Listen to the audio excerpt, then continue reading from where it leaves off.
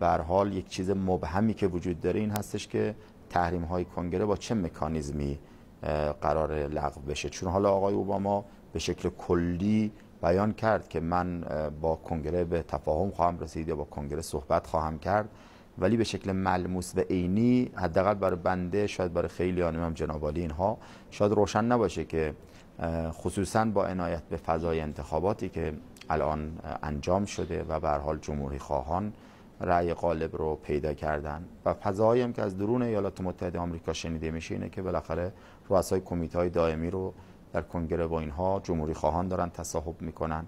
البته خود دموکرات ها هم اینطور نیستش که مجموعا همشون همون خط مذاکره ای رو که آقای اوباما داره می‌رود کل دموکرات ها هم اینگونه نیست که همه اونها همین رو تایید بکنن و یا اساسا بحث تحریم ها رو. خب ما می‌بینیم که برخی هاشون هم نگاهشون نگاه دیگری است.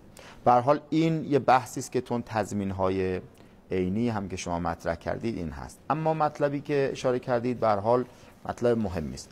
ما از قبل هم که با غربی ها مذاکره کردیم اونچه که دیدیم عدم پایبندی به مذاکرات بود. از همون مرحله تعلیق که ترم هایی که در اون زمان به کار برده شده بود در تعلیق در همین موافقت نامه سعدآباد هم بود که به حال این تاریخ تعلیق غیر حقوقی غیر الزام آور داوطلبانه و یه چیز دیگر هم داشت. چهار تا به اصطلاح واژه بود. هیچ کدوم همه اینها رو جمهوری اسلامی ایران گنجانده بود.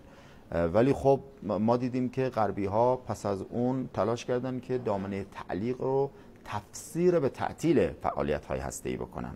و حتی شما دیدید که خدای دکتر روحانی یه باری میفرمودن که من به اونها تشریح می‌کردم که در مذاکرات که مثل کسی میمونه که شماها در اتاق گرم کنار بخاری نشستید ما رو دعوت به صبر می‌کنید در حالی که ما بیرون توی برف و یخ ایستادیم و منتظر هستیم که هرچه سریعتر در باز بشه و شما کار ماست که امروز تعلیق شده و باید زودتر تکلیفش مشخص بشه در زمان مودالیته هم همین اتفاق افتاده. یعنی در مودالیته فرمولی که ما با غربی انتخاب کرده بودیم انصافا فرمول خوبی بود و مذاکرات هم خوب پیش رفت با آژانس بین المللی انرژی هسته و اونها هم بلافاصله اومدن این رو تایید کردن. اما باز دیدیم بلافاصله اون بحث ادعاهای جدیدی بود که مطرح شد.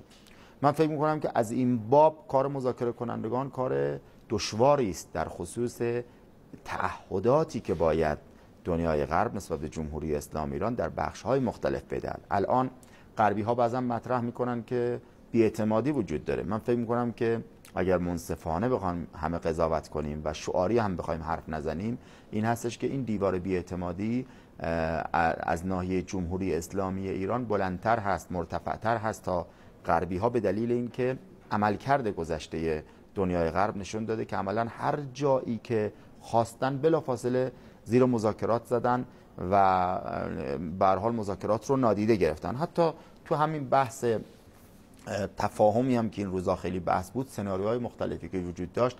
یکی از نکات همین بود که به حال ما هر دو داریم وزن کشی می‌کنیم و بعد از مذاکرات هم شاید هر دو به دنبال این باشن سازوکاری که اگر ما به تفاهم و به نتیجه نرسیدیم هر کدوم تعهداتشون رو عمل نکردن چگونه بشود این مذاکرات رو به نوعی نتایجش رو بهش ملتزم نبود؟ من فکر می‌کنم ما تو این فضا الان داریم مذاکره می‌کنیم و فضا فضای راحتی نیست. خب از طرف دیگر هم وضعیت خود آقای اوباما و وضعیت دموکرات ها در داخل آمریکا هست که این هم یک وضعیت برحال نسبتا ثبات یافته مثل گذشته نیست. این هم به نظر می‌رسه بحث دیگری است که وجود داره. البته خب جریانات دیگری هم مثل جریاناتی که تخریبی عمل می‌کنن در ارتباط با مذاکرات که روزهای اخیر هم دیدیم. همین بحث رژیم صهیونیستی است و نوع روی کردی که اونها به کار بردن. یا برخی از کشورهای عربی منطقه ما مثلا سفر آقای سعود الفیصل به وین و به حال رفتن ایشون گفتن حتی بدون دعوت بلند شده و این خیلی به نظر من عجیب البته اینکه بدون دعوت باید روش بحث بشه تحلیل بشه. شاید بحث الان ما نباشه ولی اینکه آقای جان کری و اینها بخوان با اینا صحبت بکنن هم دیگه بدبینانه نسبت به اون وجود داره از نظر نوع رفتاری که غرب آمریکایی ها داشتن. هم می‌تونه یک تفسیر مثلا یه خورده مناسب تری داشته باشه. ولی نفس این که به حال اینها اومدن پایکار وایستادن حتی بحث هسته ای شدن رو مطرح کردن حتی اینکه مثلا برن با برخی از کشورها در منطقه ما کار بکنن برای اینکه بحث هسته ای رو پیش ببرن. اینا به نظر می‌رسه مجموعا مقداری فضا رو به حال می‌کنه.